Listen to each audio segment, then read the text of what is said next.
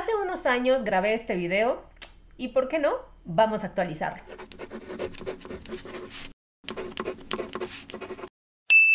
Hola libreros, ¿cómo están? Bienvenidos una vez más al canal. El video del día de hoy es ustedes recomiendan y no recomiendan. Me acaba de llegar un comentario el otro día de alguien que decía que nunca se suscribiría a mi canal porque yo no leo nada.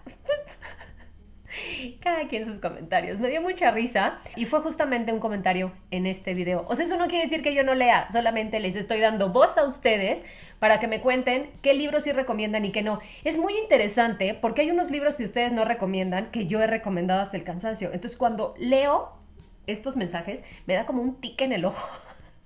Se me salta una vena porque digo, ¿cómo? Yo respeto opiniones, pero con libros que me apasionaron tanto, pues de repente me cuesta un poco de trabajo. Los voy a balconear, como decimos aquí en México, o los voy a exponer y voy a dar los nombres o las cuentas de quienes me escribieron y me hicieron estos comentarios que me parecen muy interesantes porque como siempre lo digo, en gusto se rompen géneros. Así que voy a comenzar. Iván Trejo y ya recomienda Peregrinos de Sofía Segovia, que ustedes saben que es uno de mis libros de escritores mexicanos favoritos y no recomienda La Larga Marcha. Creo que es de Stephen King, La Larga Marcha, porque no me pone el autor. Pero pues la verdad es que no lo he leído y no tengo ningún comentario al respecto. Les voy a ir dejando todos los títulos, me van a poner a trabajar porque voy a tener que descargar todas las imágenes para que ustedes las tengan aquí. Carolina Quotes Love recomienda El Ruiseñor de Christine Hanna, que yo también lo he recomendado hasta el cansancio, y no recomienda El sutil arte de que te importe un carajo. Es un libro más como de superación personal. En su momento me llegó, pero nunca lo leí. Entonces no puedo decirles nada al respecto. O sea, no puedo decirles si lo recomiendo, no lo recomiendo. De Saavedra Barca recomienda todo lo que necesito existe ya en mí de Rupi Kaur, no lo tengo. Y no recomienda Mujeres que no perdonan de Camila Lackberg. Pues es que la verdad no es un libro como muy recomendable. Es como una lectura que queda inconclusa que se quedó a medias, que no logró desarrollarse ni los personajes ni la historia. Sí lo leen en un día, sí, o sea, tiene creo que 120 páginas, o sea, es muy chiquito, pero es como ver una serie y al final dices, ¿qué? ¿En qué terminó? ¿Cómo? O sea, ese libro no es que no lo recomiende. Si quieren pasar un buen rato y hacer una lectura rápida, pues adelante, pero no es una lectura que les vaya a aportar mucho. Annie Starling Light recomienda Carta de una desconocida de Stefan Zweig, que no he leído, y no recomienda la trilogía de 50 sombras de Grey. Eh, pues, o sea, yo nunca le he recomendado, o sí, por favor díganme que no. Soy capaz de que sí. Siempre les he dicho que los leí en inglés y en español, que los tengo todos, pero creo que nunca me he atrevido abiertamente a hacer esa recomendación. Después de leer la literatura erótica que estoy leyendo, definitivamente, pues no lo recomiendo. O sea, si quieren pasar un buen rato y entretenerse, sí. Si quieren malentender el tema del sadomasoquismo, pues también. Pero bueno, es una lectura fácil que en su momento, y es algo que yo reconozco, hizo que muchas personas, sobre todo mujeres que no leían, se acercaran a la lectura. Y yo siempre reconozco cuando eso sucede, porque son libros que atraen y que después te permiten seguir explorando. A lo mejor únicamente esa temática, pero no importa, ya empezaron a leer. Entonces, por ahí encuentro el valor. Aquelarre Books recomienda Frankenstein, que es una joya, y no recomienda El Guardián en el Centeno. Y El Guardián en el Centeno es un libro que yo tengo pendiente desde hace años. De hecho, he estado intentando ponerlo eh, en el club de lectura de clásicos, por alguna razón no se ha dado, pero bueno, ahí está la opinión. Lau Villac recomienda El Olvido que Seremos, que me parece espectacular, de Héctor Abad Faciolince, y no recomienda Los Siete Maridos de Evelyn Hugo. Eh, hubo tanto hype con el tema de los siete maridos de Evelyn Hugo, que honestamente nunca lo leí, precisamente por eso, porque cuando empiezo a escuchar tanto sobre un libro, se me quitan las ganas. He escuchado opiniones de todo, que es una lectura entretenida, que se va muy rápido, que sí se disfruta, pero pues hasta el momento como que no me he atrevido y no, no se me ha antojado. Campa Mercedes recomienda Klaus y Lucas de Agota Christoph y no saben cómo me han recomendado ese libro. He intentado conseguirlo en varias librerías, y no he tenido suerte, espero más adelante, y no recomienda La mitad evanescente. Ni había escuchado ese libro, no tengo idea. Alicia Waxian recomienda El príncipe cruel de Holy Black y no recomienda Madame Bovary. Madame Bovary puede resultar una lectura densa. Yo se los compartí en su momento, tardé aproximadamente 10 años en hacer esa lectura. Lo intenté durante mucho tiempo y lo dejaba. Avanzaba cierto número de páginas, lo dejaba. No era el momento de hacerla. Y hace unos años me decidí a por fin meterme en la lectura y no saben cómo la disfruté. Sí, el personaje de Emma es un poco desesperante, pero pues al final del día es un clásico. A mí me interesaba conocer a profundidad la historia y a mí me gustó. Cócteles literarios recomienda El Testigo Invisible, que estoy casi segura de que ya lo leí, me encantó. No me acuerdo ahorita de la autora, pero es autora, ¿eh? eso sí estoy segura, es mujer. Les voy a dejar la imagen y no recomienda Amigo de Nadie. Pues no les puedo decir nada porque pues, no tengo idea de, de quién es. Pao Morlo recomienda Granja Animal de Orwell. ¿No es Rebelión en la Granja? ¿O ese es otro? Disculpen mi ignorancia, no sé. Pero bueno, sí recomienda ese y no recomienda La señora Dalloway de Virginia Woolf.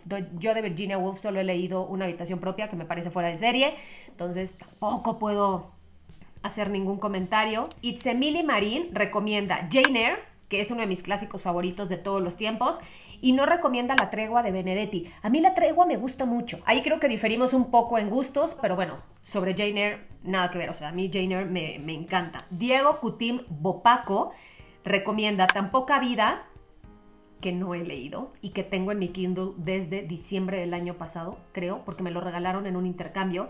Y no recomienda Muerte en Venecia. No he leído ninguno de los dos. Pero de Muerte en Venecia he escuchado cosas maravillosas, entonces espero más adelante poder hablar un poco al respecto. Gaby Gamboa recomienda El túnel de Ernesto Sábato, que es una joya, y no recomienda Palmeras en la nieve de Luz Gabás. Ese libro también me llegó y no lo leí porque vi la película, porque está protagonizada por Mario Casas y la actriz femenina sale en Vis a Vis. Ahorita, Berta Vázquez creo que se llama. Yo solamente la vi por ver a Mario Casas, la verdad. Pero el libro me dijeron que no lo leyera, que era muy lento, entonces pues ahí quedó. Ya no, ni siquiera le di la oportunidad. Annette Reader Runner, y ya no aparece lo demás porque como que el usuario está muy largo, recomienda Blonde de Joyce Carol Oates y no recomienda El Quinteto de Nagasaki. No he leído ninguno de los dos tampoco. Me encanta porque yo les hago estos comentarios a ustedes, pero las recomendaciones también son para mí. Vane de Hierro recomienda El instinto de Ashley O'Drain, que lo tengo aquí. Me toca leerlo con un club de lectura, entonces check y no recomienda Un final perfecto de Katzenbach.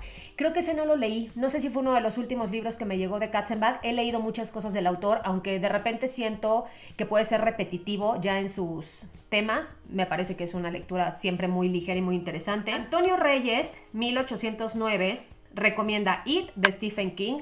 Una de las mejores reseñas, creo yo, en mi humilde opinión, que he hecho en este canal fue la de It. O sea, fue un libro que me obsesionó. le tenía yo terror, miedo a enfrentarme a la historia, no a la forma de escribir del autor, pero sí a la trama. Yo decía, bueno, voy a acabar con los pelos parados, paranoica, ¿no? Con pesadillas. Y la verdad es que no, es un librazo. Y El alquimista de Paulo Coelho, bueno, ustedes saben que en este canal tenemos un tema con Paulo Coelho. Siempre me preguntan por qué. Es que no me gustan los libros de superación personal. Y en su momento leí a Paulo Coelho, creo que fue 11 minutos, y no me encantó. Entonces Respeto a quien lo lee y lo disfruta, como siempre, pero no es un autor que yo recomendaría. No. Peque Anime Sai recomienda El hombre en busca del sentido de Víctor Frank. Ese libro lo comencé, no lo terminé y lo tengo por aquí porque me lo regalaron mis amigas del club de lectura hace muchos años cuando me fui a vivir a Torreón. Y bueno, esa sé que es una gran recomendación y no recomienda Historia sin fin. Yo sí recomiendo Historia sin fin. Mi hija lo leyó hace muchos años, fue uno de los primeros libros que leyó y acabó encantada con la historia, entonces bueno, ahí también. En gusto se rompen géneros. Fer Saldívar Soto recomienda Nadie les pidió perdón, no sé quién es, y no recomienda Carolina se enamora. En cuanto saque yo las imágenes, sabré quién los escribió. Jessica Espinosa recomienda El amor en los tiempos del cólera. Amo a García Márquez y ese libro en particular. No, ¿cómo? Y no recomienda Mil soles espléndidos. Pero si Mil Soles Espléndidos es una joya, aunque me pone, en este momento no, basta. O sea, yo Mil Soles Espléndidos lo he recomendado hasta que me cansé. Es de Khaled Hosseini, habla de la situación de las mujeres en Afganistán, perfecto para entender la situación que están viviendo hoy en día y me parece extraordinario. Es un libro para cortarse las venas con un pan de caja, para llorar a moco tendido, desde que empieza hasta que termina. Yo sí lo recomiendo, por favor háganme caso. Lean Mil Soles Espléndidos, me parece un libro bellísimo, muy dramático, sí, pero bueno, es de esas historias que yo particularmente disfruté. Hannah recomienda Tokyo Blues y esto me cae como una pedrada porque creo que les he dicho muchas veces que yo he intentado leer a Murakami así como lo intenté con Madame Bovary y de Tokyo Blues no paso de la página 75-100. Para mí es un somnífero. O sea, yo empiezo a leer a Murakami y en automático me desconecto, me duermo y no me entero de nada. Por eso no me gusta Murakami. Y no recomienda After Dark, que creo que es también del mismo autor. Pues es que yo ya ni siquiera lo intenté. O sea, yo me quedé en Tokyo Blues, luego me llegaron los libros de la muerte del comendador y dije, ¿cómo para qué? ¿Para qué? Si no lo gozas. Y esa parte, ustedes saben que yo la defiendo mucho. Si no estoy disfrutando un libro, adiós. Hay muchos más. Yamil Books recomienda Mujeres que compran flores, no lo he leído, y no recomienda la canción de Aquiles, libro del que todo mundo me ha hablado maravillas. Es de Madeleine Miller, la misma autora de Circe. Yo Circe no lo disfruté nada, nada. O sea, fue una lectura que me costó mucho trabajo. Al principio bien, después de la mitad dije, ya no más. Sí lo terminé, por eso nunca les hice reseña. Y la canción de Aquiles me acaba de llegar en una edición preciosa, pero pues como que quedé con un mal sabor de boca todo mundo me hizo el comentario de que la canción de Aquiles era muchísimo mejor. Entonces, bueno, igual y en una de esas le damos oportunidad más adelante. Crisi García recomienda Matando a un Riseñor de Harper Lee. Es una joya, si tienen oportunidad de leerlo, háganlo. Un clásico además, premio Pulitzer. Y no recomienda El Guardián en el Centeno. Cero y van dos. Esto ya no pinta bien. Empiezo a preocuparme. Andy Leia 78 recomienda El Salvaje que es uno de mis libros favoritos, que está por aquí. Me parece fuera de serie. Y no recomienda Querido Don Benito. Mm, querido Don Benito a mí también me costó un poco de trabajo. Ya les dejaré por aquí la imagen. Brian, guion bajo B7, recomienda Las penas del joven Werther, que no he leído. Y no recomienda El mundo de Sofía. Y a mí El mundo de Sofía me gusta mucho es, no me acuerdo ahorita del autor, sí lo tengo porque fue uno de esos primeros libros que yo me compré, que disfruté, es más como un tema de filosofía, una explicación sobre la filosofía y a mí me gusta mucho. Juli Rojas 88 recomienda Cómo maté a mi padre. No había escuchado nada de ese libro. Y no recomienda La mujer en la ventana. Pues es que La mujer en la ventana es un libro como es como un thriller. No, no es como, es un thriller. Y hay serie en Netflix. Yo la serie nunca la pude ver porque me quedé dormida. y eso para mí es importante porque quiere decir que si no me está atrapando, bye. Ya ni siquiera le di una segunda oportunidad. Liz Libris-20 recomienda Noticias del Imperio de Fernando el Paso, que no he leído y ni siquiera tengo. Y no recomienda El Resplandor. ¿Por? Si yo hasta reseña del Resplandor hice. O sea, ¿Ven lo que les digo? Mi corazoncito sufre porque no les gustó el resplandor y a mí el resplandor me encanta. Me encanta el libro y la película. Mariana P. recomienda Crisantemo Blanco, que ya se los he recomendado muchas veces, creo que ya tienen hasta reseña en el canal. Y no recomienda ensayos sobre la ceguera de Saramago. Yo tengo que confesar que no he leído ensayos sobre la ceguera porque en su momento de Saramago intenté leer las intermitencias de la muerte y no avancé nada. Dije, pues, ¿cómo para qué? ¿Cómo para qué forzar esta relación autor-lector? Y lo dejé en stand-by y hasta el momento pues nunca me he atrevido a dar como ese, ese paso. Polilla entre libros recomienda Jardín de invierno de Christine Hanna, que es muy bueno, no igual de bueno que El Ruiseñor, pero es bastante interesante la historia. Y no recomienda Las niñas que soñaban con ser vistas. Ese no lo había escuchado. Adriana Abundis sí recomienda Como polvo en el viento de Leonardo Padura. De hecho, es una de mis lecturas favoritas de este año. Tómenlo en cuenta.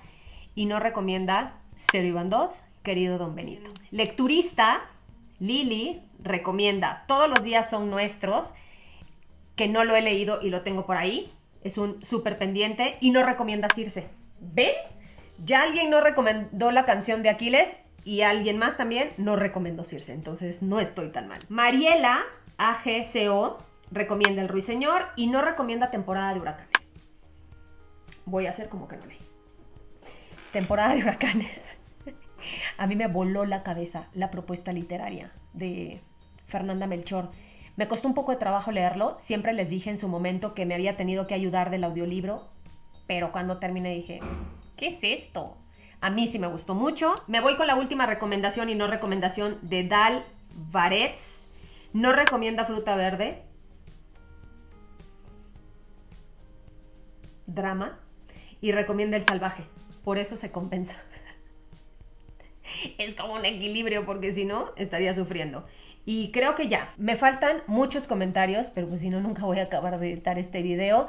Hasta aquí las recomendaciones y no recomendaciones que hacen los lectores. Creo que ustedes tienen muy claro cuáles son los libros que sí les recomiendo porque son de los que les hablo y los que no, pues ni siquiera los menciono, aunque ustedes se enteren de que los estoy leyendo. Hasta aquí el video del día de hoy. Les agradezco muchísimo a todas las personas que participaron en esta dinámica. Como les digo, fue un video que hice hace muchos años y pues obviamente hemos actualizado nuestras lecturas, hemos leído otras cosas y por eso me pareció interesante como actualizarlo. Muchas gracias a todos, les mando un abrazo con mucho cariño, que tengan un día extraordinario. Si les gusta el video ya saben lo que tienen que hacer. Porfa denle like, suscríbanse al canal, activen la campanita de notificaciones y nos vemos en un siguiente video. Les mando besos, que tengan lindo día. Bye.